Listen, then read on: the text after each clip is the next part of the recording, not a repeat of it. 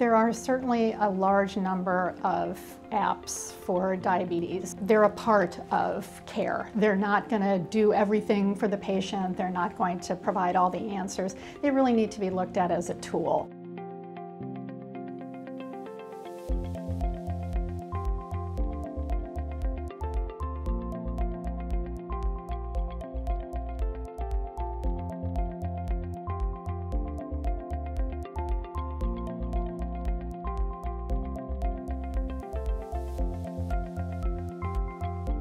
The National Diabetes Prevention Program can be delivered both in person and through virtual technology. The National DPP has included delivery by virtual means since 2015. There is a wide range of digital tools that are available to assist in diabetes prevention.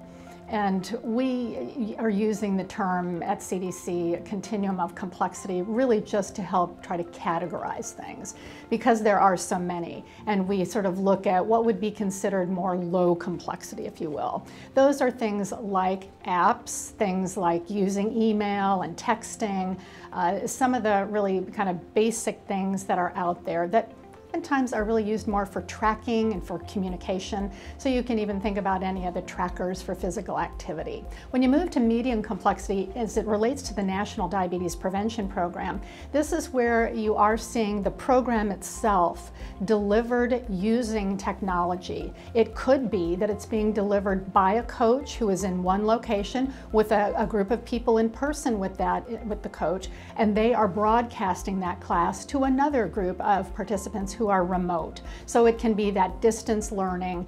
When you move to the higher complexity, now that you're adding these things together, so you may be using the lower complexity tools, you may also be having some elements of what would be considered medium. In the higher complexity, it means that the program really is delivered using all virtual technology as opposed to meeting in person with the coach.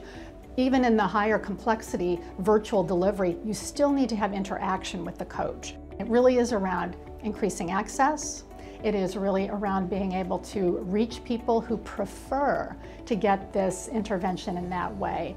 But I do want to really emphasize that it is imperative that we have both in-person and virtual delivery of the national DPP.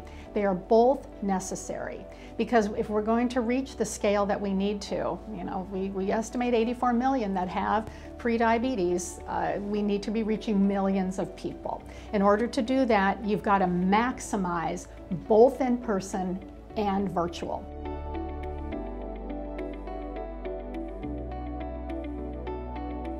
There are many benefits to the healthcare professional for referring the patient to the National Diabetes Prevention Program. It is important first that the health professional do screen test their patient for prediabetes and then refer. The referral does allow them to help their patient engage with a program that is proven to be effective. And we all know that healthcare professionals want the best for their patients. This helps reduce their demand on their time and their energy.